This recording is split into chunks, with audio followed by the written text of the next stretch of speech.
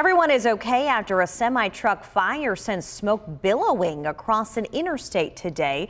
This was on Interstate 3580 near Hickman Road in the Clive and Urbandale area around 3:45 p.m.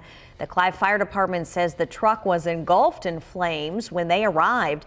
It took about 10 minutes to put the fire out, but part of the interstate remains closed right now.